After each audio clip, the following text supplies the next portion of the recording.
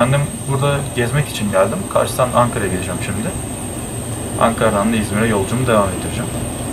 Daha yeni başlıyoruz ama yorumlarda hep güzel şeyler geçiyor. Yani güzel sözler alıyorum. Ben de denip görmek istedim. Yani ilk yolculuğum gayet memnunum şu anlık. Ee, hiçbir sorun yok. Ee, normal diğer karayolu taşımasından daha iyi. Yani şu anlık öyle görüyorum. Ee, eğlenceli bir gün olacak. Öyle umuyorum.